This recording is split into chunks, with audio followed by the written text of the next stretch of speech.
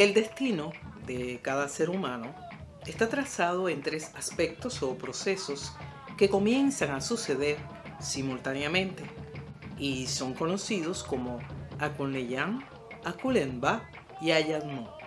Entender cómo nos afecta la conjunción de ellos es el primer paso para entender el destino personal, ese destino que adquirimos en cada Atongwa o reencarnación y la función de Ifa durante este camino. Hola, hola, bienvenido a Cuba Videos. Hoy vamos a estar hablando sobre la elección de nuestro destino. Bienvenidos. Para entender el Ayamó, que es la predeterminación de nuestro destino, tenemos que enfocarnos más en resultados que en circunstancias. No es tan importante de qué manera se superan las etapas, ya que existen muchos caminos para llegar a un mismo destino. Ayamó significa nosotros escogemos conocer o aprender. Entonces estos son aspectos que afectarán nuestra siguiente encarnación en la Tierra.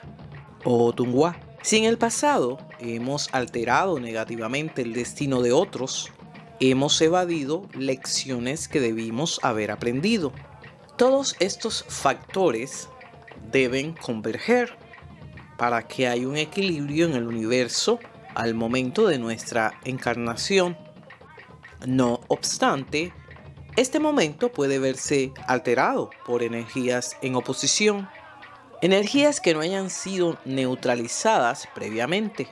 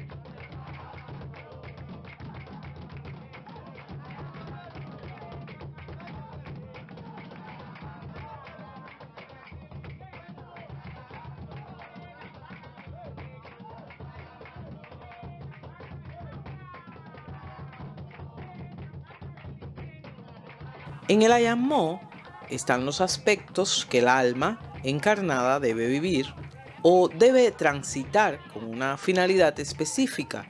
El tiempo que el alma tarde en entender el mensaje y evolucionar en su siguiente Ayamó dependerá directamente de su libre albedrío, lo cual explica que no estamos condenados a vivir toda una vida en la tierra influenciados bajo un aspecto específico, ya sea este positivo o negativo.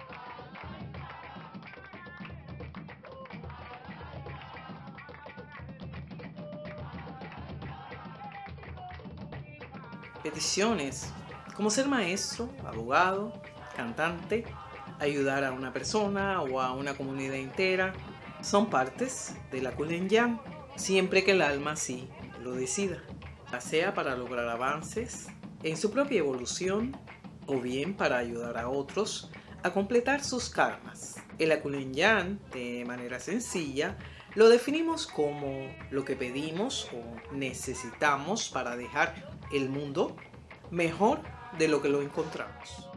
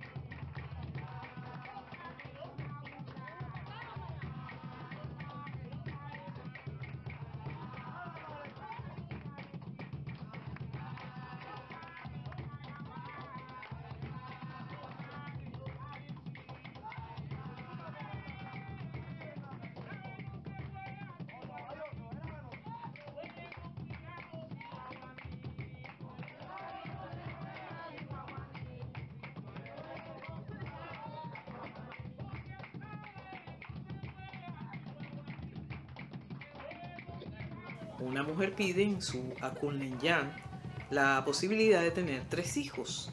Esta queda embarazada, pero de una persona que ella cree que no es la correcta. Tal vez no es el momento apropiado y decide por su libre albedrío practicarse un aborto, aún en contra de todos los consejos que se le pueda dar. Sin esperarlo, surge una complicación en el aborto que ocasiona que nunca más esta mujer pueda tener hijos y así se estaría alterando parte de su destino. Y a su vez por este error, creando un nuevo Ayamó para sus próximas encarnaciones.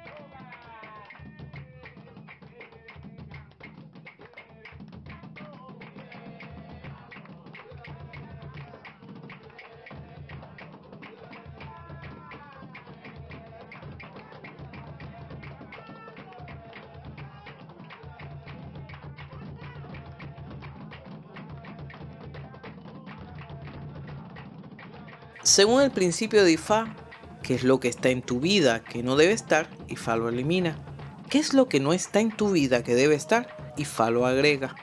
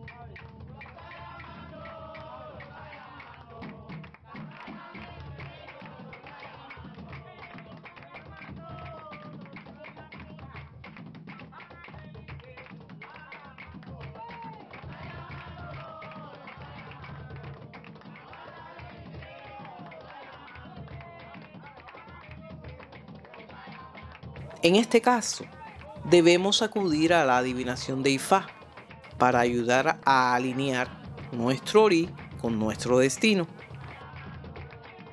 Luego de Ajalamopin, nuestra alma va a otro Irumole, conocido como Sensentisoro o el registrador del destino. Este Irumole es el encargado de certificar y registrar que has elegido todas y cada una de las cosas necesarias para completar tu destino. Y una vez que ha sido así, poner sello y dar su aprobación. En ese instante, nuestro destino queda plasmado y nada de lo pedido o elegido puede ser alterado o modificado en el mundo espiritual.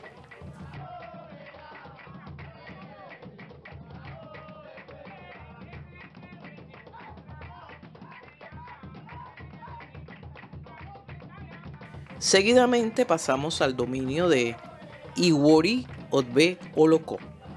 Mole nos impone un simple pero significativo reto, el cual encontramos en los versos de este propio Odu.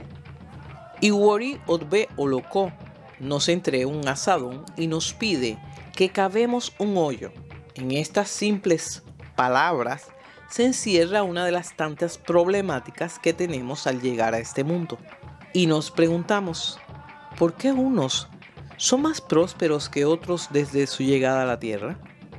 Al llegar a la Tierra, algunos pasan mucho trabajo para llenar su hoyo antes de alcanzar las bendiciones, mientras que otros con un simple movimiento son bendecidos con todos los iré o buena fortuna de la vida.